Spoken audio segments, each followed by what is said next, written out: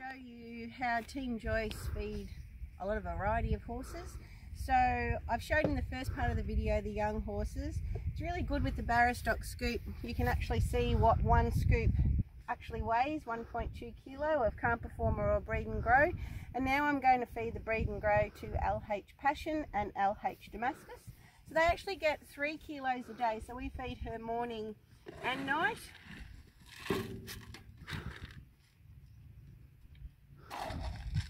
Fill it right to the top. And she also gets half a scoop of groom. So I do this at night as well. It's only for this time of the year. And then we increase it in another few weeks because it gets a lot drier. she'll get even more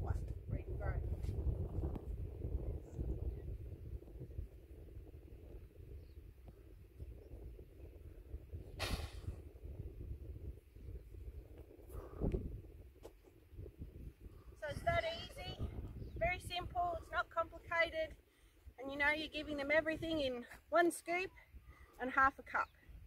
That's what Team Joyce does and it works. Thanks for watching.